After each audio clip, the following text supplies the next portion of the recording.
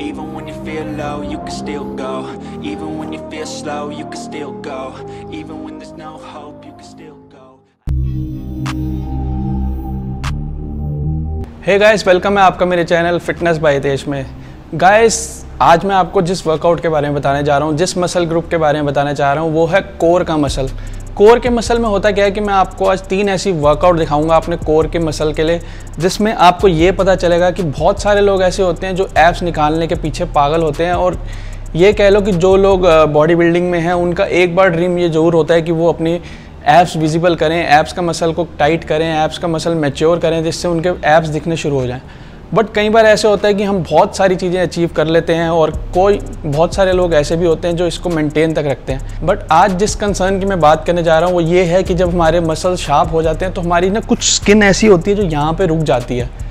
वो क्यों होती है? क्योंकि हम या तो डाइट फॉलो नहीं कर पाते या बिल्कुल स्ट्रिक्ट डाइट पे नहीं आते क्योंकि हमें पता होता है कि हमारे ऐप्स काफ़ी हद तक विजिबल हो गए हैं बट उस टाइम के बाद हमें एक स्ट्रिक्ट डाइट पे जाना होता है जिसमें हम और ज़्यादा इसको शार्प कर पाएँ और ज़्यादा विजिबल कर पाएँ, अपने ऊपर की स्किन को और पतली कर पाएँ ताकि अंदर का जो हमारा मसल है वो विजिबल होना शुरू हो जाए। बट बहुत हद तक इसमें जो कंट्रीब्यूशन होता है वो वर्कआउट का भी होता है एक्सरसाइज का भी होता है, जो ऐप्स की एक्सरसाइज हमें रोज़ ट्रेन करनी चाहिए जिससे हम अपने अंदर का जो मसल है कोर का, उसको ज़्यादा से ज़्यादा टाइट कर पाएँ हार्ड कर पाएँ मेच्योर कर पाएँ। उसमें मैंने आज आपको तीन ऐसी वर्कआउट दिखाए हैं, जिसमें एक जो पहला वर्कआउट होगा वो बिगनर के लिए होगा, जो बहुत ईजिली उसको कर लेगा। एक जो होगा वो एडवांस लेवल का होगा, और एक जो होगा जो एक्सपर्ट्स हैं, वो करते भी होंगे। फिर भी मैं आपको वो वर्कआउट दिखाना चाहूँगा। एक्सरसाइज कोई बिगनर या एडवांस लेवल पे उसको करना चाहे तो वो ट्राई कर सकता है। बहुत ज़्यादा टफ एक्सरसाइज नहीं है बट जैसे जैसे जैसे जैसे वो ये एक्सरसाइज परफॉर्म करेगा ट्राई करेगा तो उसको ये इस चीज़ में भी वो एक्सपर्ट हो जाएगा।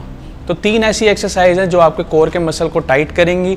और साथ ही में आपको एक और ज़्यादा मसल को मेच्योर करने में हेल्प करेंगी और आपके ऐप्स को शार्प करेंगी और बहुत जल्दी आपको विजिबल आपके जो ऐप्स की विजिबिलिटी है वो ज़्यादा दिखनी शुरू हो जाएगी और आपका जो स्किन की जो लेयर है वो पतली होएगी थ्रू एक्सरसाइज डाइट एक अलग मैटर है। आज मैं सिर्फ़ वर्कआउट की बात कर रहा हूँ एक्सरसाइज की बात कर रहा हूँ। वो तीन ऐसी एक्सरसाइज है जो मेरी फेवरेट हैं और मैं भी परफॉर्म करता हूँ और आप मैं, आपको करके दिखाऊँगा। उन एक्सरसाइज को करने से आपको बहुत जल्दी हफ़्ते, दो हफ़्ते, तीन हफ़्ते डिपेंड करता है आपकी डाइट आपका जो डेडिकेशन है, आपका डिसिप्लिन है वर्कआउट करने का कंसिस्टेंसी है, उस पर भी बहुत डिपेंड करता है। सारी जो चीज़ें हैं, ये मैं आज आपको परफॉर्म करके दिखा रहा हूँ और ये देखने के बाद आप मुझे बताना कि आपको ये वीडियो कैसी लगी। ये जो मैं आपको फ़र्स्ट एक्सरसाइज दिखाने जा रहा हूँ, ये इंटरमीडिएट लेवल का कोई भी पर्सन कर सकता है। बिगनर भी इसको ट्राई कर सकते हैं। ये मेरे अकॉर्डिंग फ़र्स्ट ऐसी सिंगल एक्सरसाइज है जिसमें आपको अपनी बैक बेंड करनी होती है, जिससे आपके जो कोर पे पूरा इफ़ेक्ट आए क्रंच होए। और सबसे मेन जो इसमें बात आपको ध्यान रखनी है, वो नीचे जाते हुए आपको ब्रीथ एक्सेल करनी है और ऊपर आते हुए इनहेल करनी है।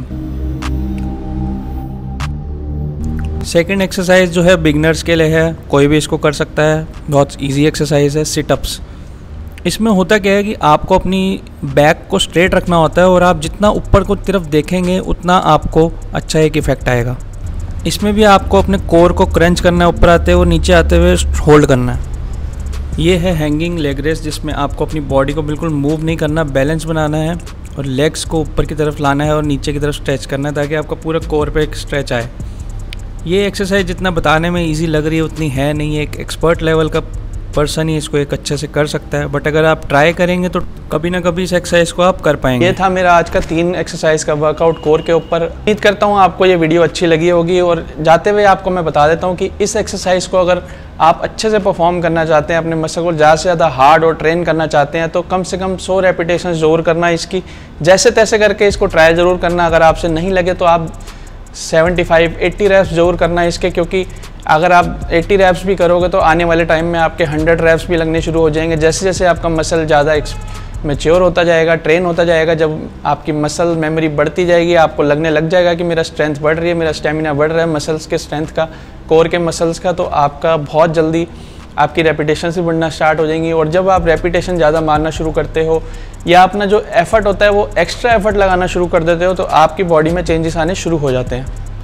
तो उम्मीद करता हूँ आपको आज कंटेंट आपको बहुत अच्छा लगा होगा। तो मैं चाहूँगा कि आप मेरे इस चैनल को सब्सक्राइब ज़रूर कर लेना। जो लोग मेरी वीडियो को फ़र्स्ट टाइम देख रहे हैं, जो लोग ऑलरेडी मेरे चैनल को सब्सक्राइब कर चुके हैं, उनसे मेरी यही रिक्वेस्ट है कि ज़रूर एक लाइक ज़रूर करना और ज़्यादा से ज़्यादा मेरी वीडियो को शेयर करना और मुझे मोटिवेट करते रहना ताकि मैं आगे और मोटिवेशनल वीडियोस बनाता रहूँ और आप लोगों को भी हेल्थ फिटनेस और डाइट से रिलेटेड सारी बेनिफिट्स प्रोवाइड कराता रहूँ।